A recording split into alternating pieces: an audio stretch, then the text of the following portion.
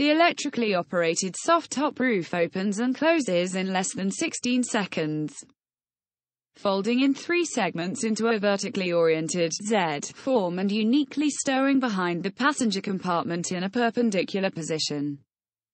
That, in addition to a 3.5 cubic foot storage area takes the place of the coupe's plus two back seats.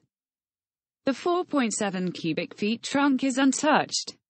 The roof itself is also noteworthy for its construction, much like the entire carbon fiber extensive i8.